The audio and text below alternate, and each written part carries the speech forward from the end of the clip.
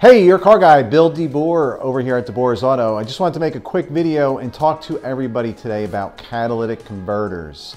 Uh, so when we get into catalytic converters, there's a number of things that we talk about when uh, you get that dreaded P0420 code. Uh, means that the catalytic converter is below a certain threshold that can't uh, produce emissions properly going out the tailpipe, so it sets that check engine light and then you won't pass inspection. So there's a couple options when it comes to replacing that catalytic converter and getting it up to snuff so you can get it through inspection.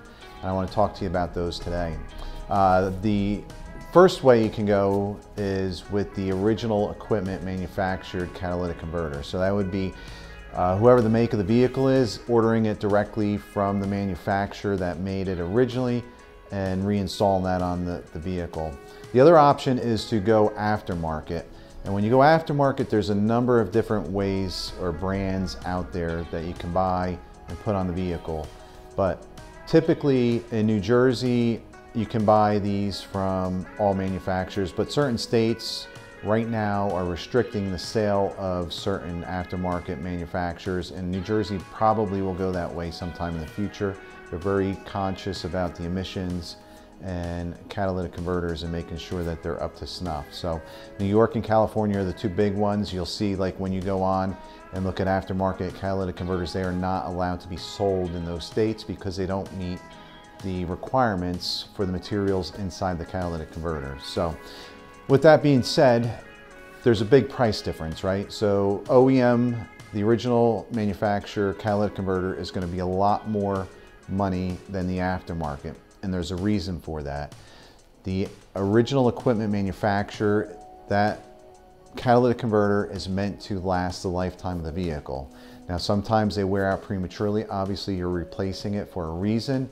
A lot of times when catalytic converters fail and you get codes, it's due to lack of maintenance on the vehicle. People not changing out the spark plugs when they should, uh, not doing good fuel injection treatments to keep the, everything nice and clean in the combustion chamber. And these things lead to a degraded catalytic converter, which can fail prematurely, putting you in this spot. So the other option is the aftermarket. And what they do is they have cheaper catalytic converter options, but the reason they're cheaper is they cut back on the amount of precious metals that they put in the catalytic converters. And that's why some of these states will restrict the sale of these catalytic converters from being put on the vehicles because they don't do the best job at cleaning up the emissions coming out the tailpipe. So at DeBoer's Auto, we always want to make sure that when we do a repair that we're in there and we do the fix once and we're done. That's our motto.